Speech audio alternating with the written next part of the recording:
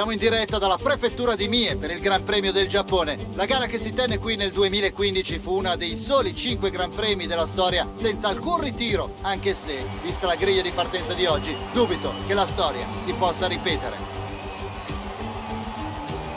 Un giro di questo storico circuito copre 5 km e 8, è l'unico circuito a 8 del campionato. I piloti dovranno fare i conti con la forza G attraverso queste 18 curve, raggiungendo le velocità di punta mediamente più alte del mondiale di Formula 1. Occhio ai sorpassi lungo la chicane finale. Caldo benvenuto a Luca Filippi che mi affianca in cabina di commento per l'evento di oggi. Bene, vorrei chiederti di Nico Hulkenberg. Certo, hanno dovuto sostituire il cambio. Una penalizzazione in partenza non è mai un buon inizio per un Gran Premio. Beh, penso che sia meglio soffrire adesso che fermarsi a metà gara.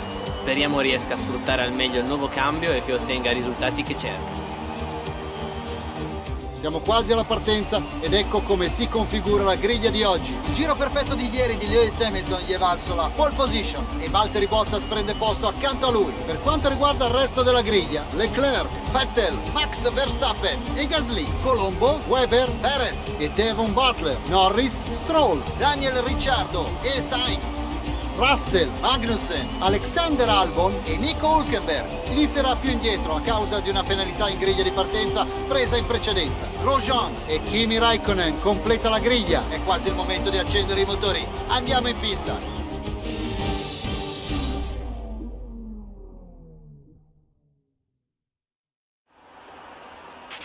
Puoi ancora vincere il campionato piloti. Devi dare il massimo nelle ultime 5 gare.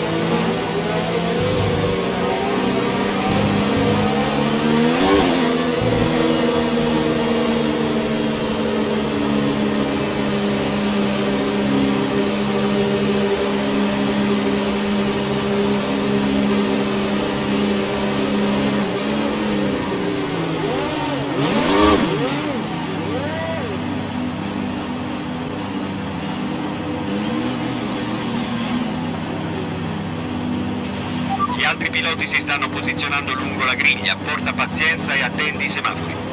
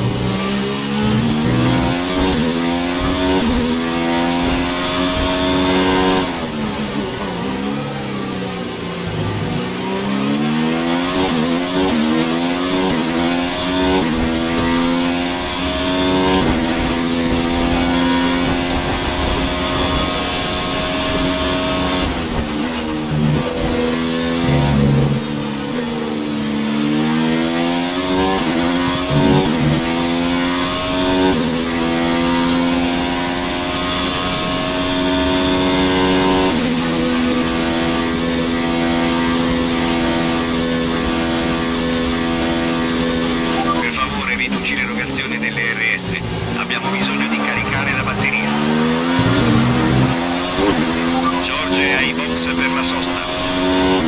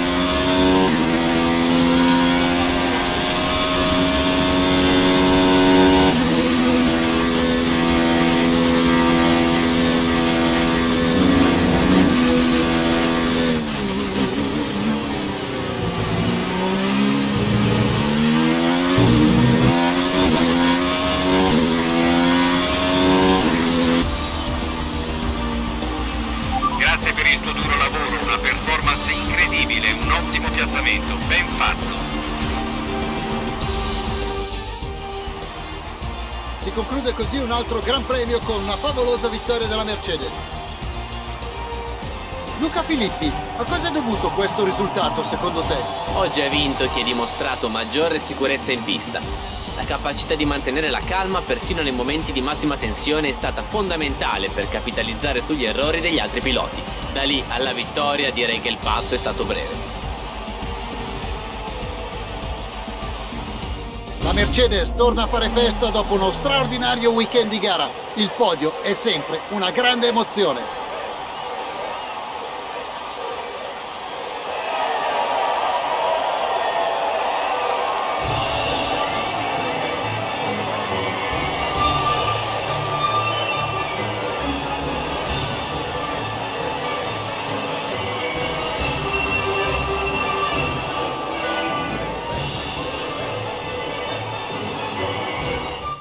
Scopriamo in che modo questo finale ha modificato la classifica pilota. Fantastico risultato per Lewis Hamilton che aumenta il suo vantaggio in cima alla classifica. Oggi non sono mancate le dimostrazioni di talento Luca, ma chi è stato il pilota del giorno secondo te? Oggi devo fare i miei complimenti a Kimi Raikkonen. Ha sempre mantenuto la concentrazione, senza strafare, e si è dimostrato affidabile come sempre. Vediamo come si presenta ora la classifica del campionato costruttori. La Mercedes mette a segno un'altra vittoria e si assicura il titolo costruttori. Una grande dimostrazione di forza da parte del team.